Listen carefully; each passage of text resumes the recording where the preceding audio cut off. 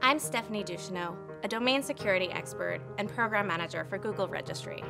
Today I'm sharing tips for creators to keep their website secure by using encryption. Think about if you were sending a secret message or personal information. Would you rather send it in an envelope or on a postcard? If you sent it on a postcard, anyone who saw the postcard on its way to the recipient could read the message or even make changes to what's written. Encryption functions like that sealed envelope by protecting the information that's passed between your website and its visitors so that it can't be snooped on or changed. It keeps your visitors safe from bad actors who may try and misdirect traffic, spy through open Wi-Fi networks, inject adware or tracking, or even alter site content. You can set up encryption by installing an SSL certificate through your web builder, registrar, or an open provider like Let's Encrypt. This is a must-do if your website collects personal information, like credit card details or logins and passwords.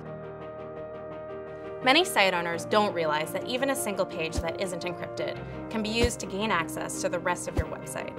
To avoid this, you need encryption on your entire website, not just pages that collect credit card numbers or login info. You can ensure that your website is always encrypted if it's on the HSTS preload list, a list of websites that browsers know to only ever load over an encrypted connection.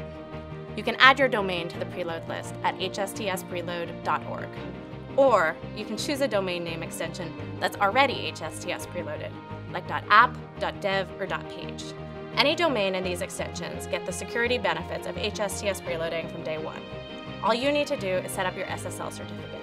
There are no extra steps and no wait for browsers to update. Check out safe.page to learn more about how to keep your website secure and where you can register your own .app, .dev, or .page domain.